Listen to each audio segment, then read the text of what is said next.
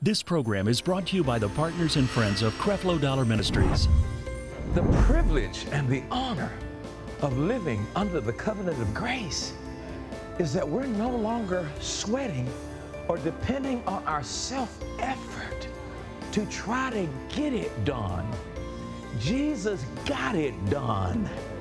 We've got to now believe it, receive it, and say thank you.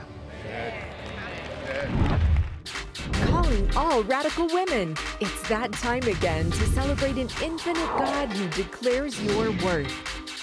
Join Pastor Taffi Dollar, Dr. D.B. Freeman, Laura Pickett, Sarah Jakes Roberts, and special musical guests Maranda Curtis, Demita Chandler, and Todd Dulaney. Register today at taffidollar.org.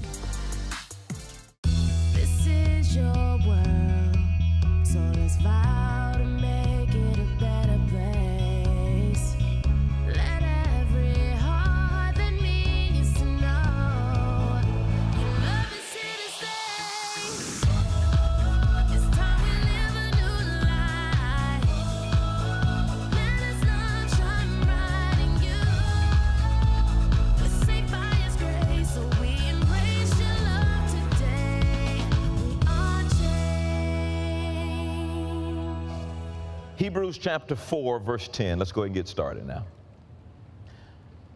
So, we're talking about stepping away from self effort and stepping into the rest and the confidence of what Jesus has already done. The rest, the confidence, and the peace of what Jesus has already done. Uh, Chief, go in the back, and get me $200 bill out of my, my, my uh, wallet. Two, two, hun- $200 bills. Um, I no matter how many times I do this illustration, it really nails it home as far as, you know, do you really believe what Jesus has done versus you working real hard to try to do something to get him to do it. I am telling you right now, listen to me, your healing was finished 2,000 years ago. So if you get sick today, healing's in the medicine cabinet done. Okay? Your deliverance has already been done and finished 2,000 years ago. Your deliverance is already done. Okay? But what's happening? It's like today, people still trying to do something to get what's already done instead of just taking it. Are you listening to me? It's already a finished work. When Jesus on the cross, he said, It is finished. And you know what the church is doing? I don't believe it. I don't believe it. I got to add to that. He said it's finished. I got to add to that. And you keep trying to do stuff that's already been done. The, the, the, the awesomeness of living under this new covenant is living by faith in what you what what what he said is finished. Yeah. So when something occurs in my life, I just go back to the finished works of Jesus Christ. And, and I just believe that it's it's a done deal, that it's already already done. All right. Do we teen, are the teenagers in here today? Yeah, y'all up you? Okay, I need a guy who's a teenager. Your initials are AD. AD. Is, are your initials AD? Are you a teenager? I can't see you. If, you, if, your na- if, your name, if you're a teenager and your initials are AD, come here. If you are a teenager and your initials, uh, what is your, you waving at me? Are you a teenager? if your initials are AD, come here. Okay, so you're, you're, you're not, your initials is not AD. Uh, you got some teen leaders sitting back there? Send me two people up here that are teenagers that look like they broke.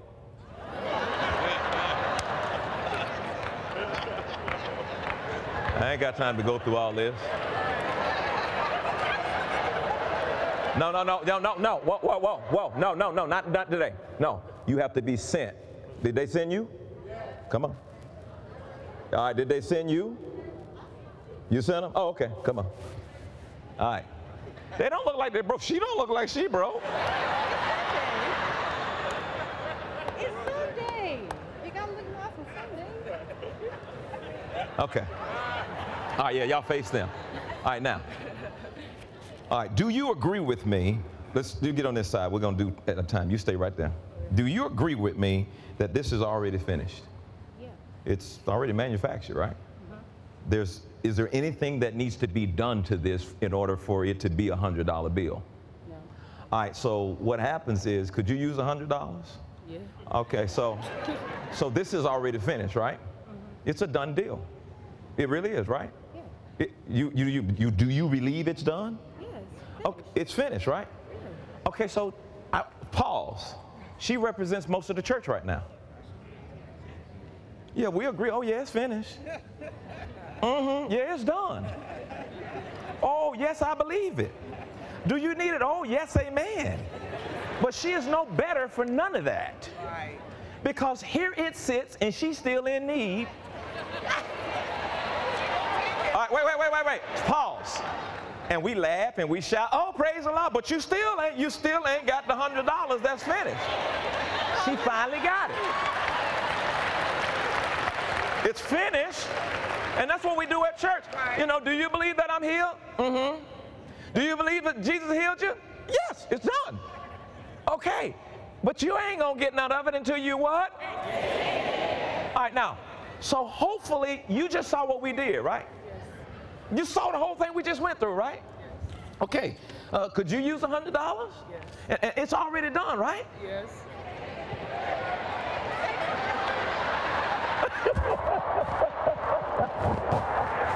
Thank you. Okay. All right. All right. Hold on. Hold on. Cause she did something. She did something. She took it. Then she said, "Thank you." What? What? She took it and she said, "Ah, thank you." That's what you need to do. Quit begging him. Quit begging him. Take it and thank you. All right, ladies. Thank y'all so very much.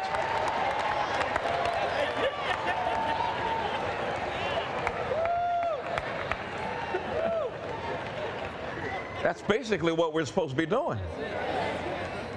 We're supposed to be taking, thank you, take you, thank you.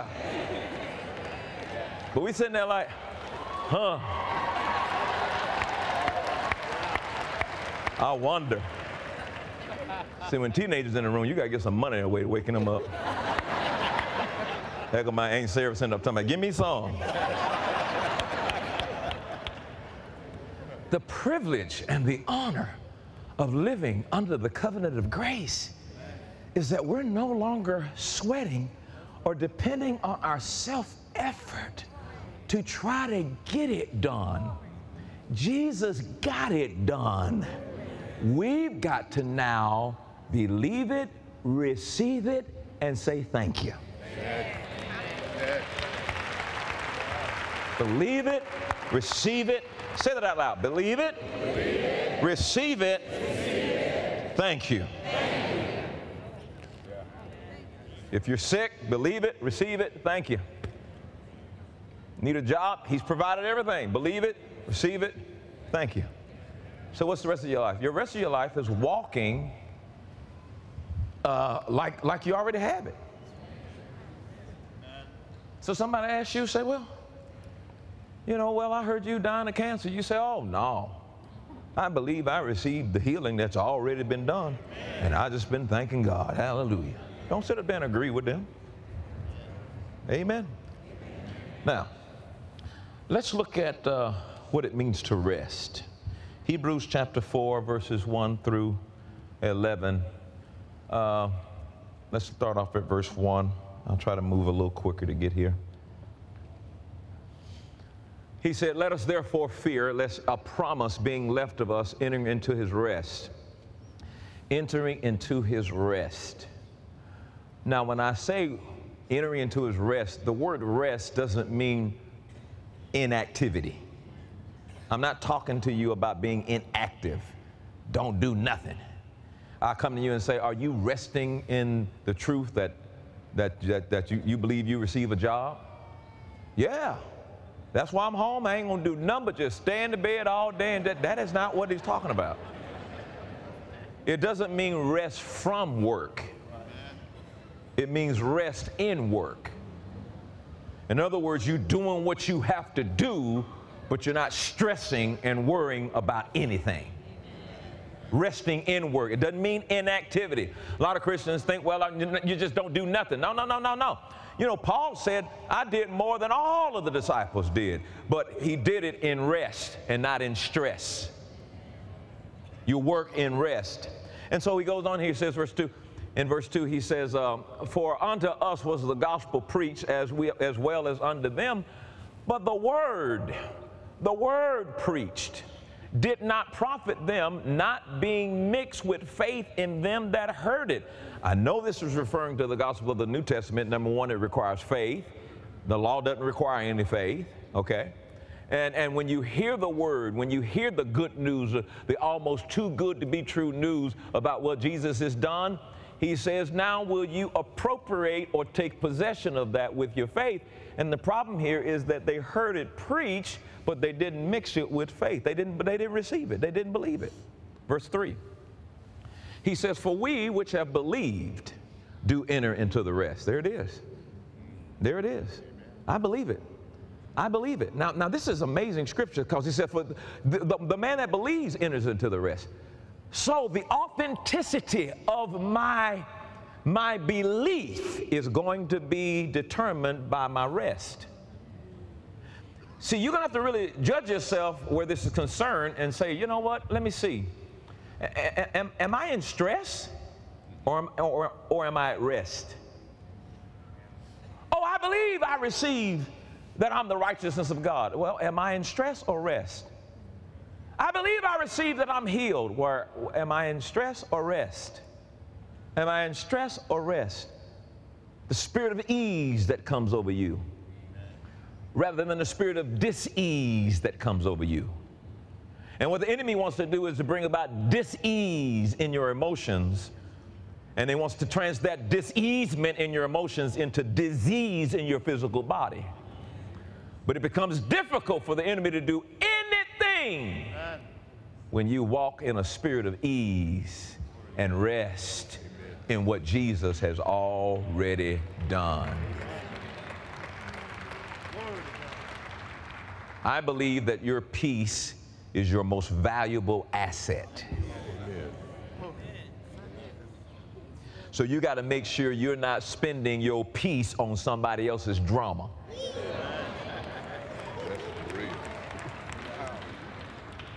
Because stuff happens when you let your peace go. And you got to be careful social media. I mean, you know, it can be used for good, but it can also be used for bullying and it can be used for shaming. And, and, and you can wake up in the morning in the joy of the Lord and go get your phone and get on social media and somebody cussing you out and you let you let the comments you rob you of your peace. You spent your peace on somebody's written comment that you can't even see. I remember the Lord told me that, I, I'm, and I just described me. I'm like, I was, oh, praise the Lord, thank you, having a good day looking at this. And like, you, you, you, you. He, he said, it's your fault. You go there and spend your peace. Whose drama are you still spending your peace on? That's why you get tired of that. You get tired of the same old drama coming and trying to take your peace, and you keep paying for it. Sometimes you just got to say, you know what? Amen. Hey, bro, hear you, but this is too expensive for my peace. When you have to, when you have to spend your peace, it's too expensive. Amen. And some of y'all came to church this morning. You, let me go to church. Maybe I feel better and then you're going to walk out of here and, and, and, spend your piece again on something. It's too expensive. It's too expensive. When is it too expensive? When it costs you your peace. That's when you know it's too expensive. You can't afford that. Somebody's drama, or you dating somebody and they always got some drama in their life, your toxic relationships, you can't even pick out when it's toxic. You got you're, you in love with something and it's toxic. You, spending your piece every hour for that person. Let that person go. That's not for you. You, it- it's too expensive. That relationship costs too much. You talking about monetarily? No, I'm talking about your peace. When it gets down to any relationship that you got to spend your peace on, that's too expensive. I got to let you go. You're cute, but you're not cute enough for my salvation, but I got to let you go.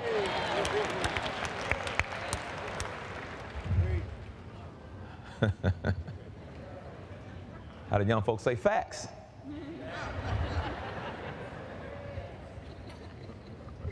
Wow. And so he says, For we which have believed do enter into rest. Right now, let's make a decision to do that. Say, Father, I, believe, And right now, I enter into the rest of what you have done. Now, from this point on, everything around you going to try to pull you out of that rest. And now comes the labor part that I have to labor to stay at rest. I got to labor to keep my peace. Some folks, you look at them calling on your phone. I don't know why they keep following me. Well, get a revelation on block. the anointing of block. You ain't got to put up there. Some of y'all want to. Some of y'all like spending your peace. Some of y'all, yeah, some of y'all like drama. Some of y'all love drama. Y'all just love it, just love drama. Look at the little, what, what's these shows where they had all the real uh, reality shows? It ain't but, it ain't, it ain't, but it's just a bunch of drama. And, and y'all love drama. I don't know how you love drama. I don't like drama. I don't like being around drama. If I see drama come, I, I don't like that. I would rather be by myself for, for years than have to deal with somebody's drama all the time. But that ain't love. Whatever. I ain't spending my piece on that stuff. Now you can debate on what's love and what's not love, but I, I, I, I am not. I can't do that. Cause you been killed me and then wait on the next pastor and kill him too. I can't do that. What other pastor that? Well, you died three months ago. Well, who you? Yeah, no, I ain't doing that one. You ain't killing me. I ain't, I ain't, I ain't gonna be dying, falling out, looking all old, and crippling like this. I ain't doing none of that. That ain't happening. 100 years old, gonna be still standing up here. What's up, boy? What's up? What's up? Glory to God. Still playing cops and robbers at home, man. Tap. It'll be a little slower, but we, we still do it. But we, hallelujah. Glory be to God.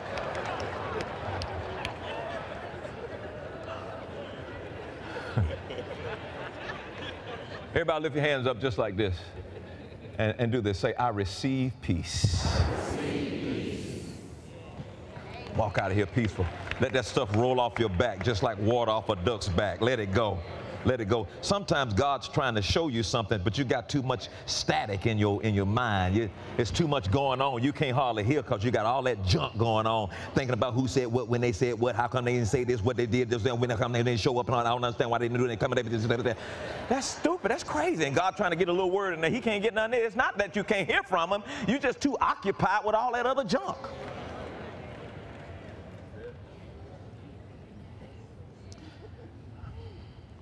Right. For, I done read this about three, four times. It? For we, which have believed, do enter into the rest. As he, as he said, as I have sworn in my wrath, if they shall enter into my rest, although the works were finished from the foundations of the world. Verse 4, he says, For he spake in a certain place of the seventh day on this wise, and God did rest the seventh day from all his works. Now, it's so important that, yeah, okay, God rested the seventh day. He was demonstrating something, but the Sabbath, the Sabbath was a shadow of the reality, which, was, which is Jesus. In the Old Testament, you read it as the Sabbath day. That was the day that they took rest. We're not talking about a day. Colossians talks about the reality of the Sabbath, this, the Old Testament was a shadow of the reality of Jesus. Basically, everything leads to Jesus. Now, I'm saying all of that because Jesus is our Sabbath.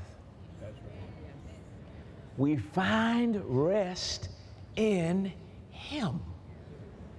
Oh, praise God. You find rest in Jesus and what He has done and what He means. That's why we take communion. We do this in remembrance of Him. We find rest in what He's already finished, we find rest in what's already done. Jesus is my Sabbath, He's my rest. You ain't gonna find rest in Mohammed. You ain't gonna find rest in Buddha. But you will find rest in Jesus. Let's find that rest today, amen? Go down to verse uh, 9 and 10. Uh, Hebrews 4, 9 and 10. He says, There remaineth therefore a rest to the people of God. Verse 10. For he that is entered into his rest, he also has ceased from his own works as God did from his. You're not going to enter into the rest operating by the law. As long as you continue to try to perform, to try to get God to do something, you're not going to enter into that rest. As long as you feel like I got to do this in order for God to do that, you haven't entered into that rest. As long as you feel like, you know, you've, you've got to go on a fast 10 days every month in order for God to bless you or anoint you, you have not entered into that rest. You know, I thank God that in this new covenant, we can enter into a rest and find rest in what Jesus has already done. But there's still too many Christians sweating like sinners trying to, trying to get the job done. I prophesy over this church today sweatless victories. Ah, you hear what I said? You're going to start walking in victories that you didn't have to sweat to get. Your days of sweating are over. Why? Because you can find rest in Jesus and you can find rest in what He has already done. Amen. Amen. Some of y'all gonna find out you're not gonna need that Tylenol when you get home today. Amen. Now let's look at Joshua 24, 13, Deuteronomy 6 and 10. Now, somehow in, in teaching the law that came by Moses, we were convinced that God needs you to do your part in order for him to do his part. And so we came up with this little slogan. Well, no, some people th- still think it's in the Bible. Well, Brother Dollar, God helps those who helps themselves. That ain't in the Bible. That ain't in the Bible. God doesn't help those who helps themselves. God helps those who need help. Well, where did saying come from? You've heard me over and over and over again. Benjamin Franklin said that. See, we mix stuff like that and then talk about the Bible said that. We take songs and it's not even scripture and say the Bible said that. So now listen to this very carefully here now.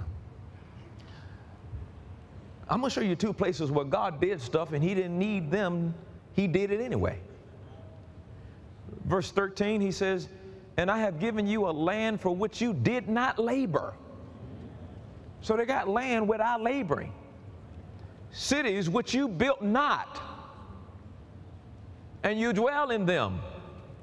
Vineyards and olive yards which you, you didn't even plant them. But God said, I did it without your labor. Oh, man. Look at Deuteronomy 6 and, and 10 through 13. See, let this really build your faith up. Let this build your faith up that, that God will do things in your life that you will not be able to give credit to your labor. Did you know worry is a wrong form of meditation? We all go through things in our life that bring about uncertainty and doubt. Some of y'all get up with the same worry that you went to sleep on. And you wake up and you continue in it and you you gotta let it go.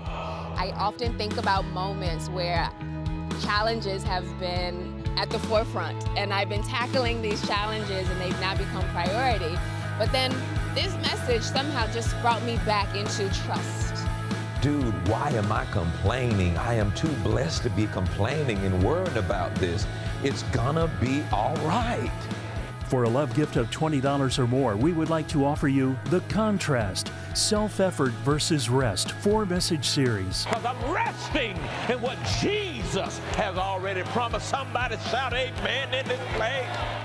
Call the number on the screen or go online to order today. Creflo Dollar Ministries presents Real ministry is when I can take what I have gone through and I can share it with you and hope that you can get something out of it to encourage you that if God can deliver him, then he can deliver me. And I'm telling you, the God of righteousness is at hand and he's waiting on you to believe that you are the righteousness of God. It's it's a high. It's it's, it's a thrill that it, it can't be explained. You're definitely going to get what you need. God's definitely going to meet you here. There's an elevation, there's an upgrade, there is an advance for the people of God. How many you know we got to lay hold of it and take it by faith? For me, I mean, I'm just sitting on the edge of my chair going, I want more, I want more, I want more. Join us in Trinidad and Tobago at the Hilton Trinidad Conference Center on January 31st and in Cleveland, Ohio at the Huntington Convention Center on March 6th. Call or go online to register today. I pray that this broadcast really blessed you today. Now, I believe in the grace of giving, and I know there are many of you out there who want to support this broadcast. Rest assured that when you support Creflo Dollar Ministries financially, you are giving to help in our efforts to spread the gospel all over the world by providing spiritual and physical help to those who are hurting and in need. God bless you. Your financial donations into this ministry work all over the world to change countless lives. If you'd like to support our efforts to save the lost, you may call in or visit creflodollarministries.org today. God bless you. Can't make it to service? No problem. Join our online worldwide audience. Experience the same atmosphere of praise, worship, and teaching of God's Word from any mobile or smart device via our website. It is not a blessing to go around broke, busted, and disgusted. It is not a blessing to go around sick with cancer, about to die. It is not God's will for you to die. You can leave here when you get ready to go. Praise God. That's the blessing of the Lord. Long life. Every mistake that you've ever made, every shortcoming that you've ever experienced, it is under the blood of Jesus. And Jesus is how God sees us. He sees us through his blood.